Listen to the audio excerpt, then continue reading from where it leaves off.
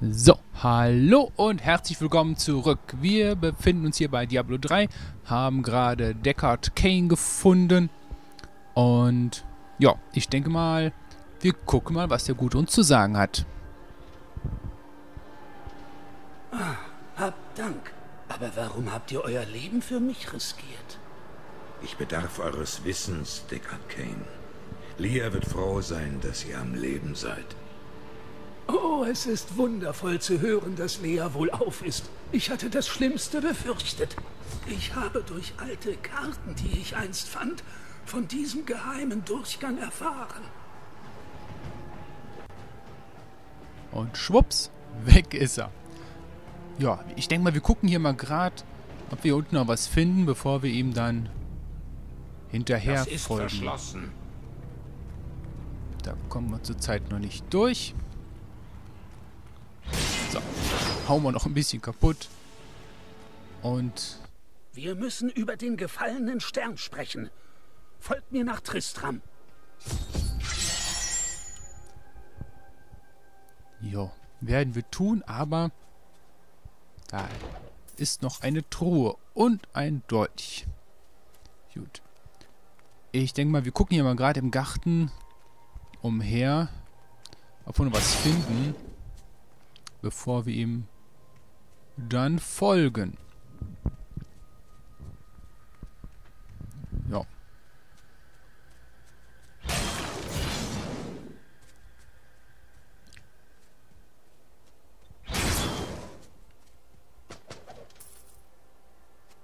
Und noch eine Handaxt und was Gold. Das ist doch schön. Hm, Wir gucken jetzt da vorne noch gerade. Ja, komm, die machen wir noch platt hier.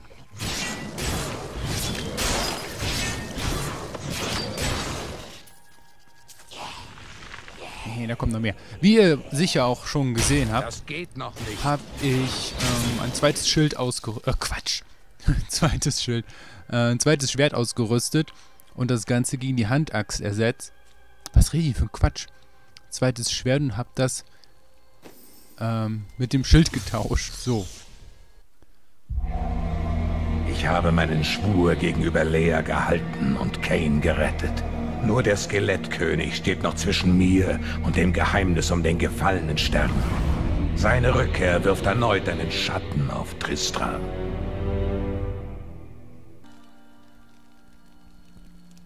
So. Und dann sprechen wir mal mit mit Lea, genau. Onkel, du lebst. Dank dir und deinem Freund hier. Die Zeit wird knapp. Was könnt ihr mir vom gefallenen Stern berichten? Ich weiß nicht viel, fürchte ich. Obwohl die Prophezeiung der Endzeit ihn sicherlich als Zeichen deutet, dass das Ende begonnen hat. Bitte, Onkel, keine deiner Geschichten mehr. Es zählt im Moment nur, dass du zurück bist. Die Vorfahren gewähren mir Stärke.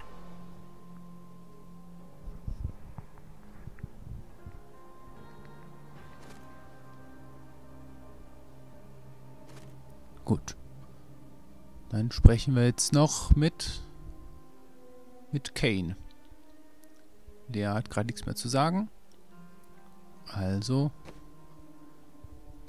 gucken wir mal eben gerade, was wir da beim Stufenaufstieg freigeschaltet haben. Wir haben hier Spaltenhieb.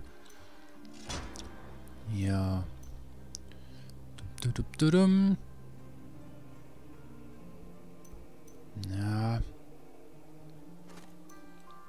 ich glaube, wir... Hier, das Spalten, das finde ich eigentlich noch am besten. Ist eigentlich immer ganz gut. Also so einen großen Bogen gefällt mir eigentlich ganz gut. So. Ne, sie hat nichts mehr zu sagen. Der Skelettkönig war einst unser geliebter Herrscher, Leorik. Er wurde von Diablos Bösem in den Wahnsinn getrieben. Er hat seine beiden Söhne verloren und auch seine Seele selbst, bevor er endlich besiegt wurde. Nun scheint es, als wäre er auferstanden, um dieses Land erneut heimzusuchen. Eine traurige Geschichte. Doch ich suche den gefallenen Stern. Und er ist mir im Weg. Der Schlüssel, ihn zu besiegen, ist seine alte Krone. Sucht unseren Schmied Hedrick auf. Er weiß, wo sie zu finden ist. Lea, du solltest die Zeichen nicht so leicht abtun. Glaubst du denn nicht daran, was du mit eigenen Augen siehst? Tristram wurde schon von vielen Schrecken heimgesucht und hat standgehalten. Aber was ist mit den Schriften? Die Folianten der Zakarun warnen vor einem fallenden Stern. Die horadrischen Schriften sprechen von lebenden Toten und dem Herrn der Lügen. Die Prophezeiung der Endzeit besagt, dass am Ende aller Tage das erste Zeichen am Himmel erscheint. Ja, du erzählst mir von diesen Schriften, seit ich acht Jahre alt bin, Onkel. Ich denke bloß, dass wir nicht zu viel in sie hineininterpretieren sollten. Ja, dann suchen wir mal den Schmied, ne?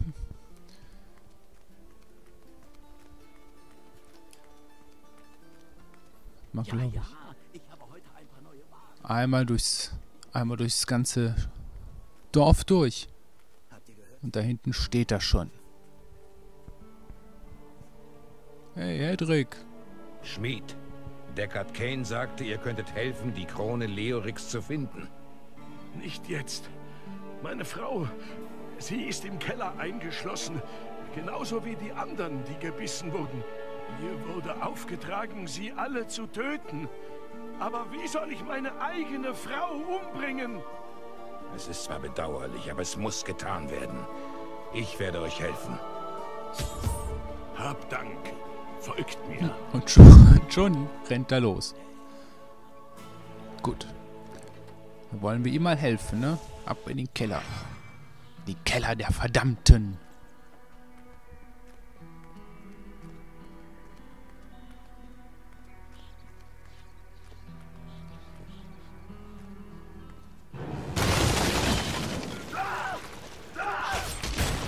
Nicht genug Wut. Meine Freunde, es tut mir leid. Es muss getan werden.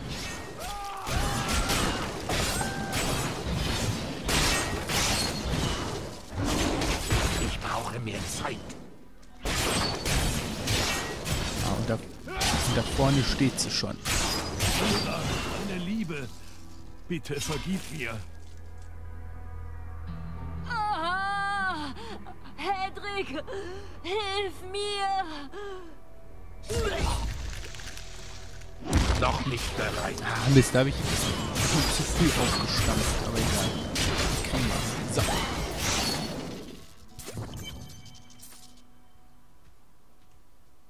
Eine Breitaxt, sehr schön. Ohne euch hätte ich es nicht geschafft. Ich stehe in eurer Schuld.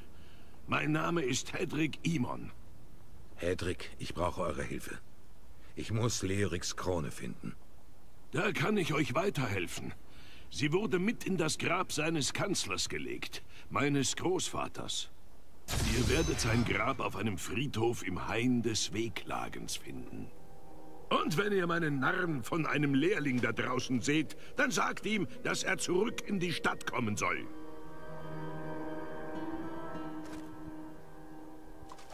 Okay. Gucken wir mal, ob wir seinen Lehrling da draußen finden. Aber ich habe da schon ein, ein ganz böses Gefühl bei der Sache. Aber wir schauen mal. Da steht ja ein Waffenständer. Da war da auch ein bisschen fehl am Platz. Gut, dass die sich da nicht bedient haben. Okay. Müssen wir hin? Ah, zum, zum hinteren Stadttor. Zum Nordwesttor. Und zum Hain des Wehklages. Des Wehklagen. So. Gut. Dann schauen wir mal, ob wir den Lehrling finden. Da müsste... Das geht noch nicht. Mehr Wut. Dann räumen wir hier mal ein bisschen auf. Habt ihr schon Angst? Gucken wir mal. Ob wir hier die... Wir sind schon ungefähr bei 10 Minuten, ob wir dann heute noch wahrscheinlich räumen. Machen wir heute hier erstmal die Karte, dass wir die aufdecken hier. Wir überall mal langlaufen, schauen uns das mal an. Vielleicht finden wir den Lehrling oder auch schon mehr. Aber hier ist ordentlich was los. Das gefällt mir gut. Drei von den, wie heißen die hier? Das geht noch nicht. Äh, Grotesken, ne? Ja, das sind dunkle Leichen. So. Okay. Und während wir uns hier munter da durchmetzeln. Och. Schöne Sachen finden wir hier.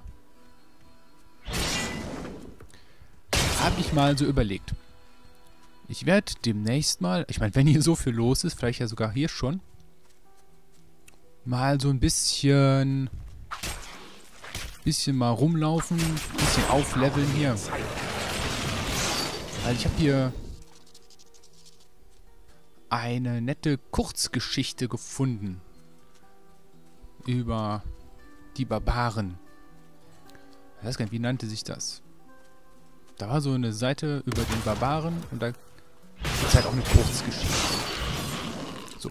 Weil ich die euch ja natürlich jetzt hier nicht auswendig vortragen kann, habe ich gedacht, ich werde mal so einfach hier rumlaufen, bisschen aufleveln, sagen wir so, zumindest so lang wie die, die Geschichte brauche. 10 Minuten, keine Ahnung. Und dann im Nachhinein, was ist das denn da hinten? Ausgeburt der Hölle, ja. Ein dicker Boomer. Erwischt. Mein Euer Fleisch ist schwach. Gemetzelt.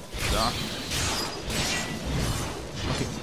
Und Zacker und weiter geht's. Ups. Ja. Ich brauche mehr Zeit. Ähm, genau. Und dann einfach mal süß, so, so Märchenonkel-like, ne? Ähm, die Kurzgeschichte dann aufnehmen, also gesprochen aufnehmen und die Tonspur einfach dann darüber legen. Dann sehe ich die Lautstärke vom Höher runter. Das müsste eigentlich ganz cool sein.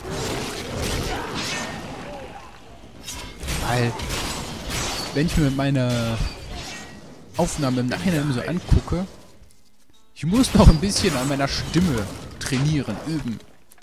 Das hört sich nicht immer so konzentriert an, wie ich es beim Zocken immer selber empfinde. Also, ihr wisst, was ich meine. So. Okay. Da haben wir da. Dies muss der Lehrling des Schmieds sein. Hedrick sollte von seinem Schicksal erfahren. Wir haben den Lehrling gefunden. Wie zu erwarten war, sieht er nicht mehr so gut aus. Aber ich habe gedacht, der verwandelt sich noch in einen gefräßigen Supertoten oder so. Gut. Ich denke mal, wir laufen hier noch einen Schlenker. Gehen dann erstmal zurück zum Schmied und berichten ihm, dass er das Gehalt des Lehrlings selber behalten kann. okay.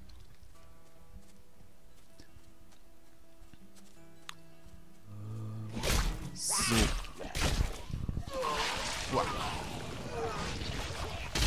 Wie hießen die nochmal hier? Ge e ekelhaft, nee. Ekelhaft runter. Oh, wir haben Stufe 7. Meine Güte, das geht ja hier.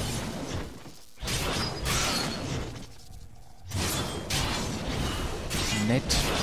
Ich brauche mehr Zeit. Okay. Also, ich wollte noch... Ansonsten könnte ich noch was erzählen zu den Hauptmerkmalen des Barbaren hier, wie zum Beispiel jetzt Nahkampf, brutale Angriffe, Kriegsschrei. Ja, und zum Einstecken von Treffern einfach. Ja, also, klar. Haben wir schon gemerkt, ne? Nahkampf. Führen, die führen halt mit Leichtigkeit hier Waffen, die für die anderen kaum zu heben sind. Also hier. Die können eigentlich alles tragen hier so. Von Schwertern, Hämmern, Äxten. Von normaler Größe in jeder Faust. Halt so, wie ich das gerade mit den zwei Schwertern mache. Aber auch hier so große Zweihänder können die halt locker mal eben schwingen. Könnte ein Mönch jetzt nicht, ne? Und ja, kombinieren halt dann hier Stärke mit Zorn und wenn sie halt, die haben halt Ressource Wut und wenn sie mit ordentlich Wut zuschlagen, kann man auch mal kurz sehen, können sie die Gegner wirklich fortschleudern. Körperteile abtrennen, ne? Jo. Haben wir alles schon gesehen. Mm.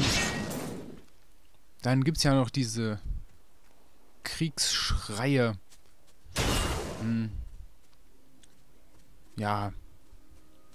Können halt Verbündete später halt in, also wir haben jetzt auch keinen Verbündeten, halt in Raserei versetzen oder kleine Feinde panisch fliehen lassen. Ja, oder größere Feinde können dann Moral gesenkt werden, ne? Dass es nicht mehr so gut hier tödliche Schläge setzen können. Und ansonsten können sie halt auch ordentlich Treffer einstecken. Kein anderer kann so viel ja, wegstecken wie ein Barbar. Also. Ja. Das geht noch nicht. Wie gesagt. Und unten links, was ich da gerade füllt und gleich voll ist, jetzt voll ist und die gelbe Kugel ist halt hier Ressource Wut. Ja, wie heißt es schön, die Wut im Herzen eines wahren Barbaren kann nicht, nicht gelöscht werden, solange sie leben. Wut repräsentiert reinen Zorn und Kampfeslust. Und sie verleiht jedem ihren furchtbaren Schläge Kraft. Wut wächst bei Barbaren, wenn sie selbst Schaden erleiden oder einen Treffer gegen einen Gegner landen. Während Barbaren immer mehr Schaden von ihren Gegnern erleiden, erreicht ihre Wut den Höhepunkt. Überschüssige Wut kann explosiv genutzt werden. Ja. Ne? Aber halt außerhalb des Kampfes baut sich Wut halt wieder ab. Euer Lehrling ist tot. Närrischer Junge. Macht euch auf das Schlimmste gefasst und ihr werdet nicht enttäuscht. Ich danke euch für die Nachricht. Konnte man jetzt unten links schön sehen, wie sich die Wut wieder abbaut. Ich denke mal, dass wir machen Schluss für heute. Und dann gehen wir die Krone des Skelettkönigs morgen suchen. Ja.